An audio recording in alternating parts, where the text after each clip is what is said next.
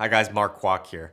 Today I wanted to try a little bit of a different episode because normally I talk about things I own, things I want to review and let you know, hey, get this, don't get this, what have you. But today I want to talk about my wish list and things that I've wanted for a very long time, but just can't get myself to get there. And I'm sure all of you guys have a wish list of sorts. So I do have five things that land on that list. So number one is the newest of all the things in this list, and it's something I haven't thought about for a very long time, and that is the Apple Studio Display. It's a monitor that they just recently announced.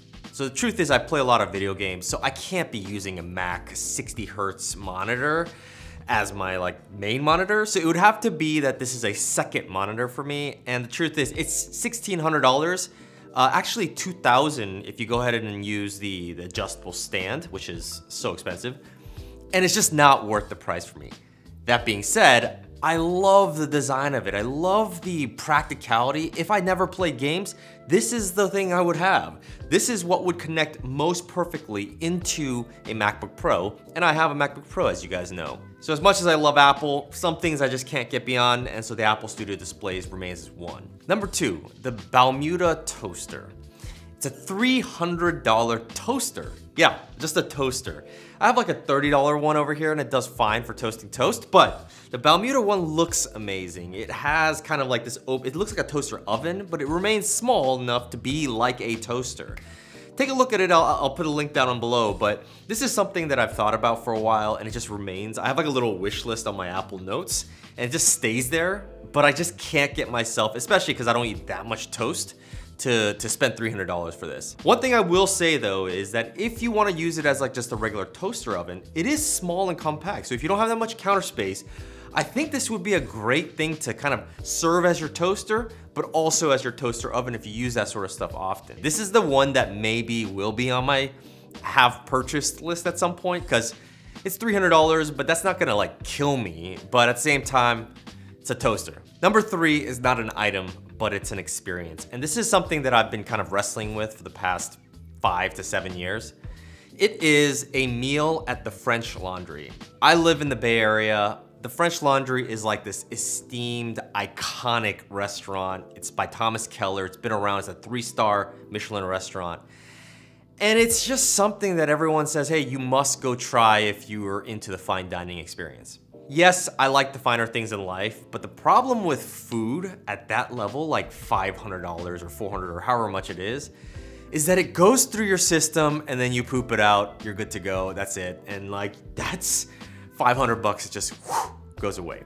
Now, yes, I know it's an experience and I'm actually trying my best these days to take money and things and move them over to experiences because that's you know that's what really matters in life. One thing about things is that oftentimes you can sell them or resell them right? And so you get some of the value back even after you've purchased it.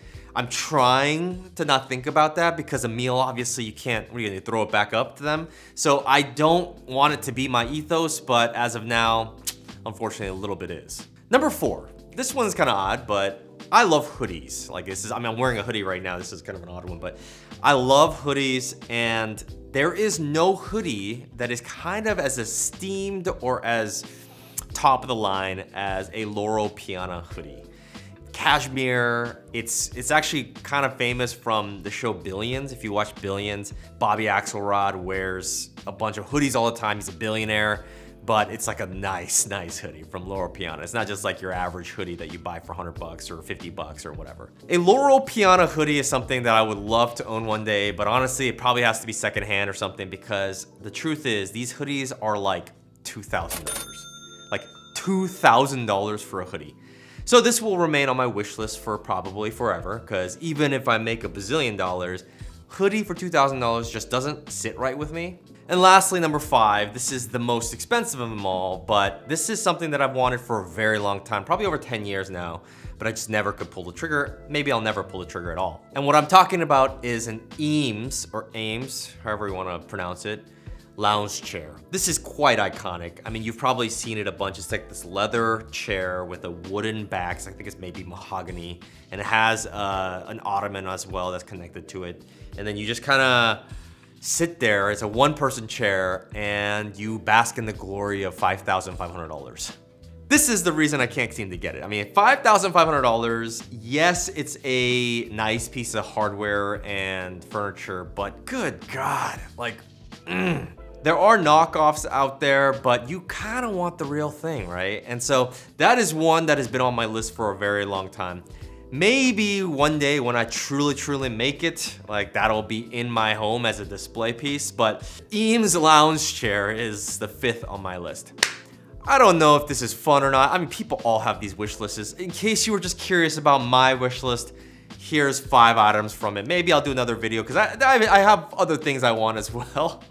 Okay, well thank you guys so much for humoring me and watching this weird video, but I'm Mark Kwak. Thanks so much for watching. I'll see you guys on the next one.